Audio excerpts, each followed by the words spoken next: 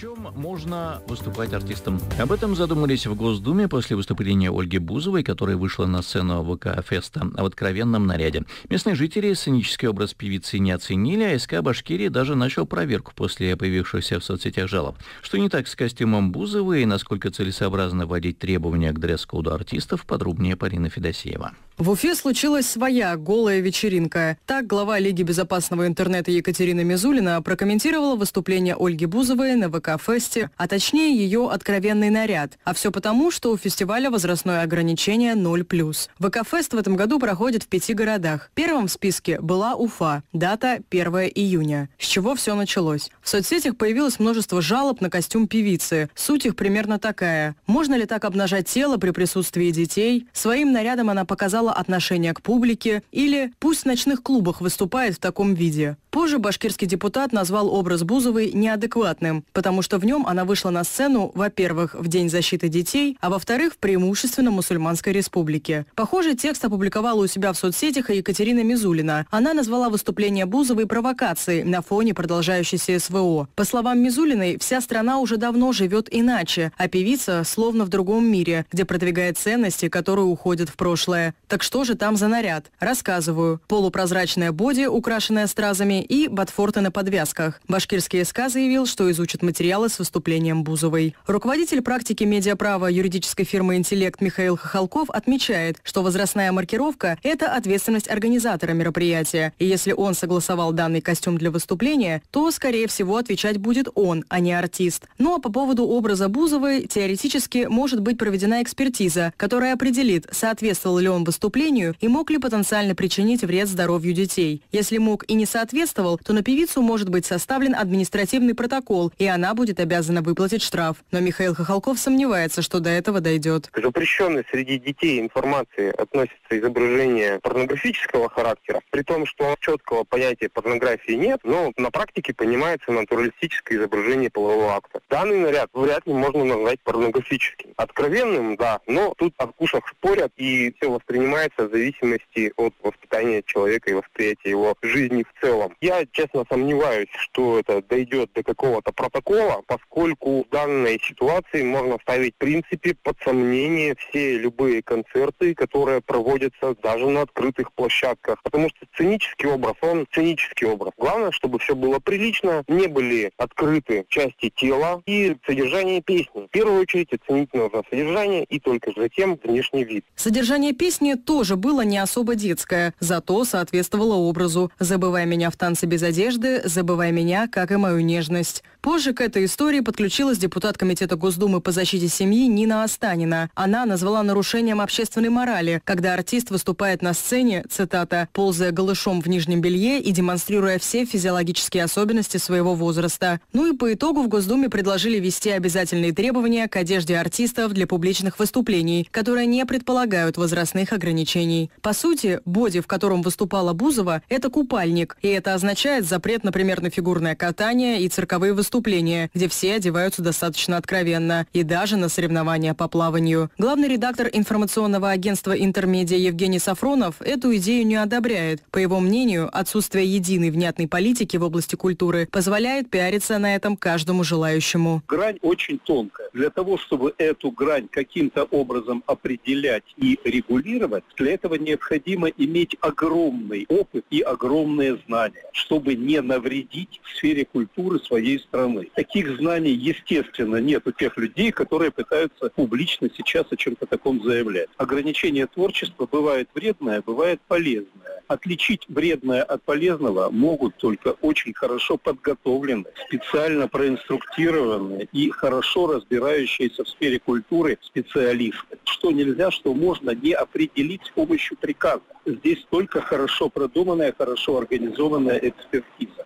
На третий день обсуждения скандала вокруг наряда Бузовой певица извинилась за свой внешний вид на ВК-фесте и отметила, что, цитата, «живет и работает во благо Родины». Ну и в связи со скандалом многие СМИ припоминают певице ее публичные осуждения голой вечеринки Насти Евлеевой. Теперь, получается, и до Бузовой дошла очередь зайти не в ту дверь.